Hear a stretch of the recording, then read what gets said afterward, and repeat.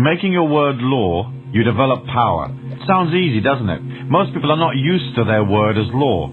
They're used to wimping out, ducking away if conditions don't suit them. That weakens them. For the mind knows you're full of BS. As you start to work upon yourself, your energy moves faster. You're basically a wave state that is oscillating. That's what you are.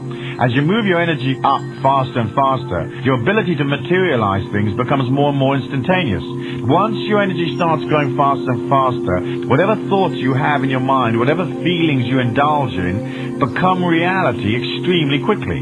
You think about the burning bush, and there it is in your hallway, burning. So one of the things you have to do is realize that you're grasping an immense power.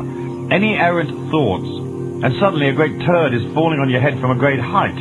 So your word as law requires you to understand your power. Understand that as your energy goes up, you're going to get whatever it is that you put out.